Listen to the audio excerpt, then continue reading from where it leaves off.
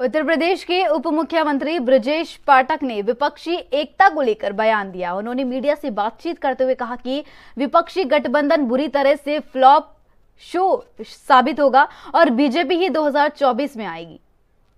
मतलब नहीं, कोई मतलब नहीं है। विपक्षी गठबंधन पूरी तरह से फ्लॉप शो साबित होगा और भाजपा ही 2024 में आएगी। सर रविशंकर प्रसाद जी ने कहा है कि जिस तरह से सब एक साथ लेकिन बिन धुले कोई मतलब नहीं बुरी तरह से बुरी तरह से गठबंधन फेल होगा।